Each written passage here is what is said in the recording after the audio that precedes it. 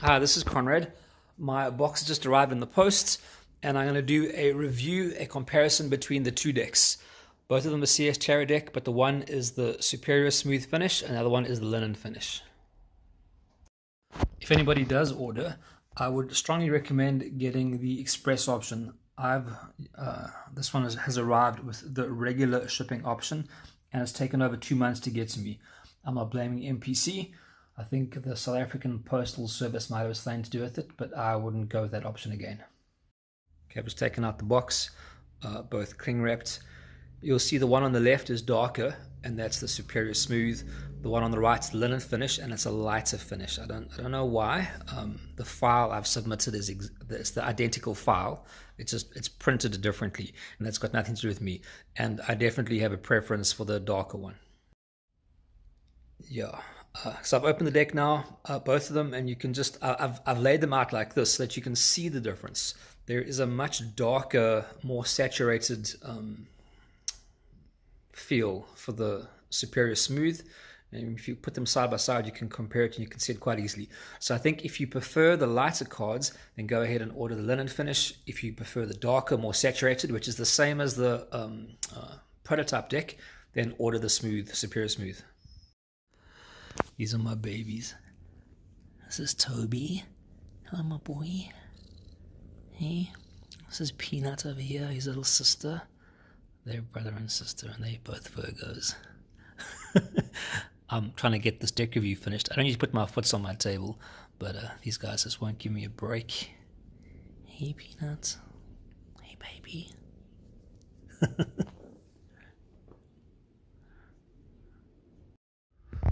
I'm going to try to hold this as still as I can so that you could see that light reflecting off of the linen finish too. It's a very subtle, um, but I mean, but it's still very smooth. And when I say these cards are smooth, they definitely don't slip. They're not slippery. Uh, actually, the, the, deck that I've just recently got is the second edition of Mary-El, and I am so disappointed with that. Uh, the the card finish. It's just like you, it's almost like you can't you can't hold the cards in your hand without them sliding out. And these cards have a very silky, smooth feel to them, but they're not slippery in any way whatsoever.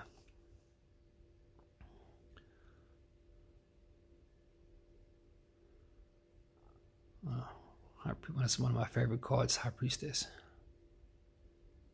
You can see the, the color in the on the card on the right. It looks a bit uh, lemony. Emperor also, I just prefer the orange on the Superior Smooth, the one on the left. Just a, a richer color.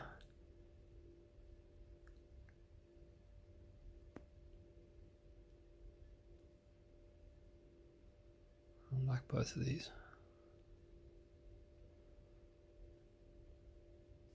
It's one of the cards I changed from the prototype. I made the sun a little bit more yellow behind the angel's head. Or that winged figure's head, should I say. I love that strong amber color here. I love it. One of my favorite cards.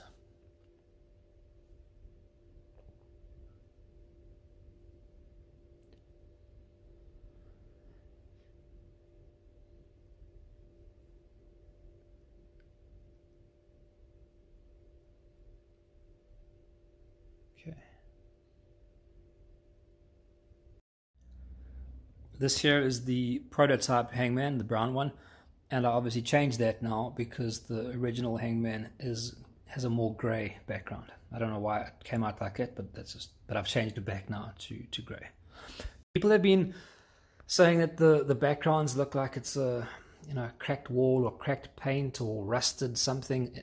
I mean it's it's all of the above. I've taken images where the where it looks like it's aged. It look I want something to look like it's old or antique. One of the inspirations for me producing this deck was the vintage pen. And that, and I, am not criticizing that deck because I, I, have a copy myself. I do love it, but I felt like that deck, uh, each card had a, had a sort of generic um, filter, like a digital filter on Photoshop, put over it. And what I wanted to create, I wanted each card to have a unique uh, background that was different and I wanted it to look like the paint was peeling off the wall or the enamel was cracked or the, the metal was a bit rusted. I wanted to, to give that aged look. I mean, this deck goes back to over 100 years ago. So I want to, I want to, I want it to look like it was, it's from 100 years ago, not like it was from, you know, 2020, 2019, whatever. So if there is enamel, I've taken photographs of enamel, uh, metal, wood, walls, ceramics, whatever I could get. Another thing that I feel adds to the authenticity of the deck looking old is that background. It's not a digital background. That cream uh, brownie background is actually a scan which I took from a Bible dictionary that I own. And the Bible dictionary is over 100 years old, belonged to my grandfather. And so that old paper look is not a digital thing. It is actually a real scan of paper that is over 100 years old. I love this one.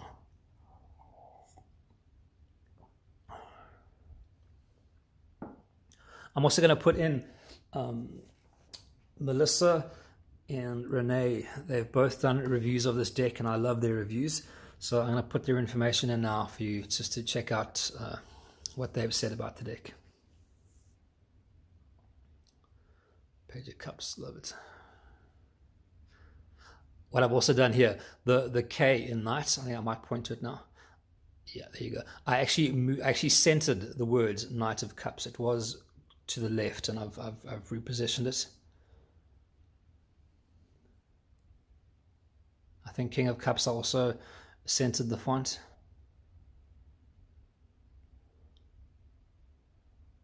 Can you see the fingernail, the thumbnail?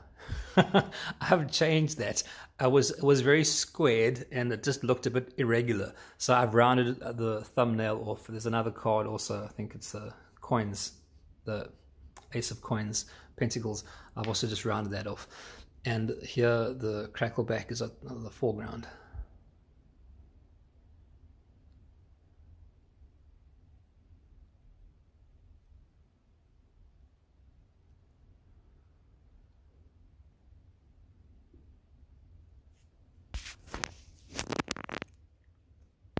What I've done here for Ten of Pentacles and also uh, Seven of, I think the World card and Seven of Cups, I made that crack very small so it looks far away just to give it that perception of depth.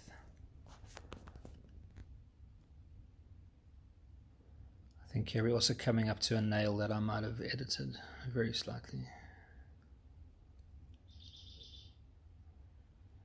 I just love the colouring in there. Yeah, I've slightly edited. I just rounded off that nail a bit, made it a bit more natural, I think.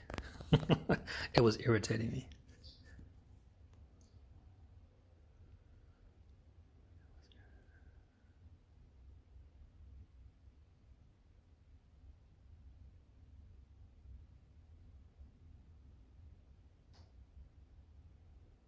Another one where that where the where the crackle looks a lot smaller to give it greater uh, perception of depth.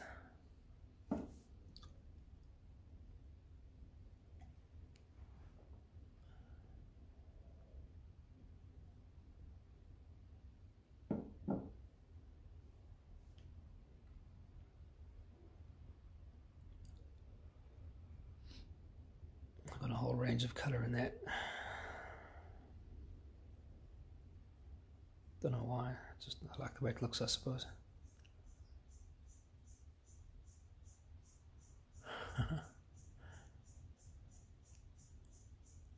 yeah, for the the swords, um, the the skies are a bit more tumultuous. Is that the right word? Uh, a bit more crazy um, to show a lot more of the like the negative emotion of the swords.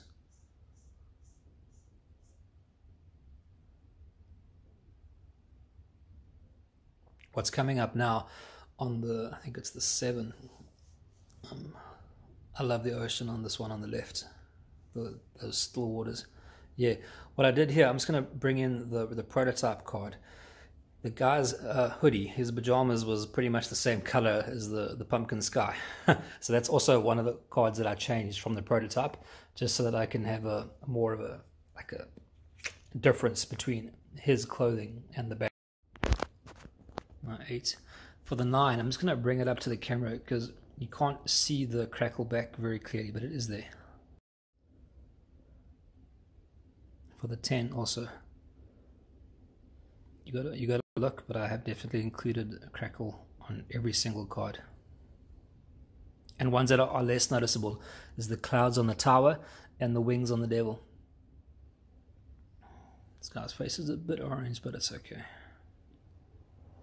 Again, I also um, centered the font for the Knights of Swords. And that's it, eh? And then my backs.